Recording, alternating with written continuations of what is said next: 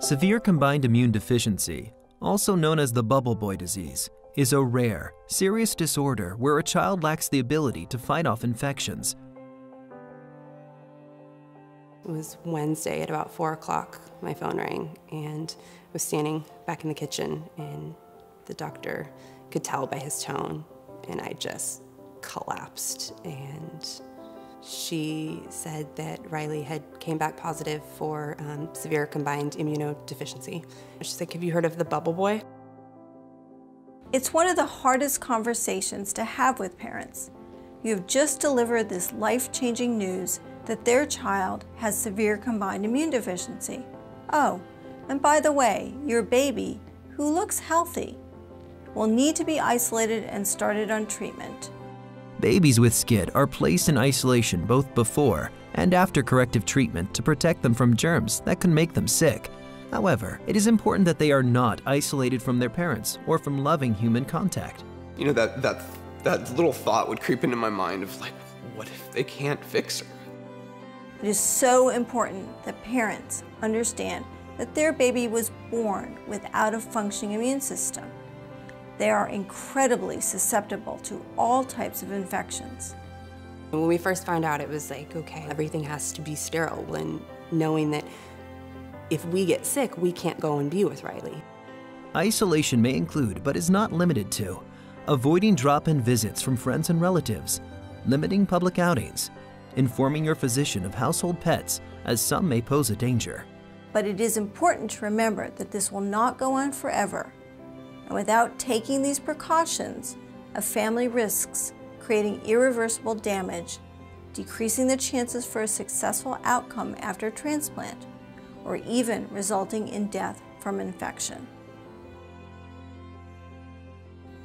Before the use of the SCID newborn screening test, babies with SCID often died from preventable infections.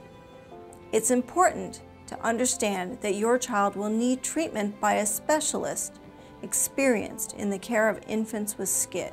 Not every medical facility or immunologist has the exact same approach to treating SCID. It's a little like cooking. Not everyone prepares a recipe in exactly the same way. Follow your immunologist's recommendations for your child. Some institutions allow the babies to remain in the home, while others admit babies to the hospital for the initial evaluation. In all cases, we try to limit contacts with other people that may carry infections, even the common cold. There are some things you can normally expect during this time. It's perfectly normal for the treatment to correct the immune defect not to be initiated by your doctor right away. Naturally, as parents, we want to make our children healthy as soon as possible. However, there may be very good reasons for waiting until your baby is stabilized and better able to accept the treatment, which will ultimately mean a better outcome. Live virus immunizations must also be avoided with a SCID infant. Your baby should not get the rotavirus vaccine until your immunologist says it's okay. Until your baby can receive the corrective transplant or the currently still under investigation but highly promising gene therapy, they will likely receive treatment to keep them healthy, which usually includes antibiotics, antifungals, and immunoglobulin replacement therapy. These medicines provide protection against infection and improves your child's odds for successful treatment. The isolation is necessary before the transplant, which is the definitive or corrective therapy. The first priority for parents is to keep their baby as healthy as possible, which means free of infection and gaining weight appropriately. You know, I'd spend 10 minutes cleaning my hands and getting under my nails and just just to hold my daughter, you know? The day that they did the apheresis to get the cells from me, and then the next day it's the transplant, and it's the most anticlimactic thing ever. It almost felt unfair. it was like there needed to be like balloons and all this stuff, but no, it's this infusion bag, much like any other infusion that she'd gotten. And the, the, they didn't even have there, she had other things going into her, so they didn't have a pulse. So it was like the, the infusion machine, remember, it was just like sitting uh-huh. on her bed. and It was like uh-huh. sitting there, and it's a bunch of us, doc, you know, the doctors and us standing there watching her, and Riley's just sitting there all happy looking around. We were finally able to bring her home when I was told, and then, you know, called Chris and told him he didn't believe me. He's like, Are you sure? Are you sure, sure? Like, her numbers, can you confirm? You've But got did. a routine and, and things are going, and, and then all of a sudden they tell you that she can come home, and it's like the that's the news you've been waiting for since this whole thing began. But can we take a couple of the doctors Right. with us or something? After the transplant, isolation is still a priority and will vary from case to case.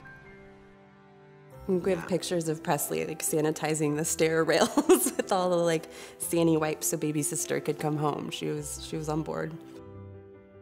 Okay, I have to feed her, I have to change her, I have to do her meds. I have to, it's just like your mind is just it's constant. It was You get a part-time job on top of being, you know, a normal mom with a new baby. Very quickly, it just becomes second nature. It's definitely not as crazy and, and, and fully consuming as you kind of, at least as I painted in the beginning, uh, but it's also no joke. it was really important to us for people to stay positive.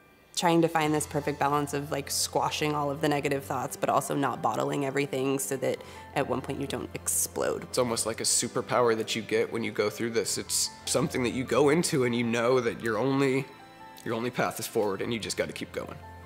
And you just you get in that mode and you just you do what needs to be done and that's that's all there is to it. That's all you can do.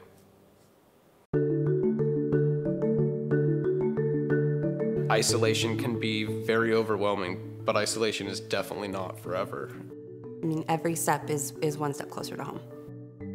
I felt so lucky to be her mom, that she was born to us, that she was born in a state that did newborn screen. because of the newborn screening, because they caught her when she was two weeks old, we were so far ahead of the game going into this. I thought I would never, ever get to see her play on play equipment that snotty little kids had touched. And now she, she can, and she can get a cold and, and fight it, and she can play in the dirt and, you know, run around with no shoes on. And it's just all of these little moments that I would have never expected to be so immensely grateful for. She's as happy as she can be every day, happier than I've, you know, any other kid I've ever seen at her age, just 24 hours a day, smiles and giggles.